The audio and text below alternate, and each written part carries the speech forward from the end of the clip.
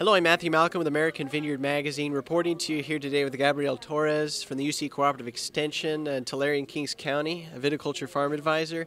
Wanted to talk about, you know, the drought is obviously a big issue, and not only for our irrigation needs, but also the impact of this this weather it has on our pest and disease uh, trends and, and what we're going to do to manage them. So I wanted to see uh, from you, Gabriel, if you could tell us what kind of pest pressure uh, we can expect or we're already seeing so far based on these um, the current weather conditions. Okay, now first I want to mention those those diseases that are gonna go down.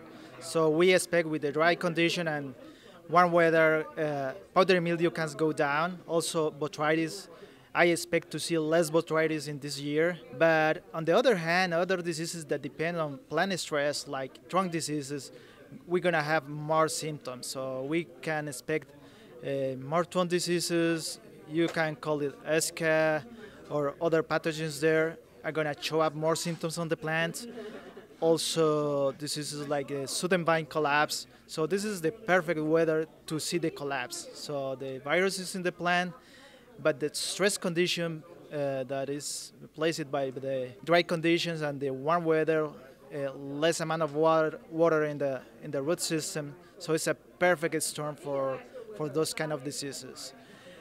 On the other hand, also past like leafhoppers population are gonna go faster, so we can expect an extra uh, reproduction, reproduction cycle this this year. So we're gonna see more uh, leafhoppers and mealybugs. Right now, so I guess we're going to be saving money on some pest control measures, but we're going to have to divert that to others.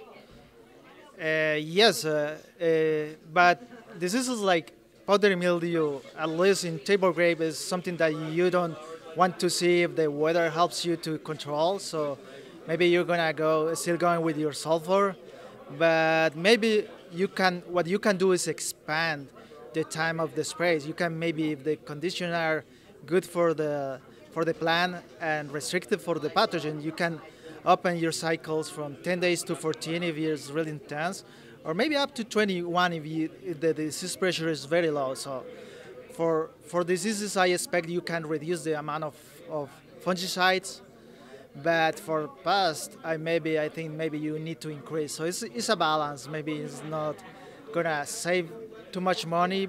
What you need to do is uh, keep a keep track of what's going on in the field. I'm glad you mentioned sudden grapevine collapse because that is something that's that's uh, pretty well spread throughout the state.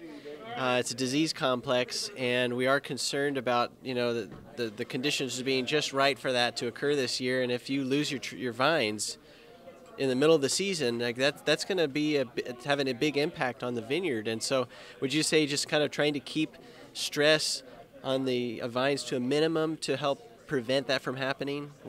Yes, that, that, that's the challenge that we have is because there is a limitation on the water amounts that we're getting from the district. Some of the wells are very low, so but in these really hot conditions and dry conditions, what we have to is reduce the stress that the plant has.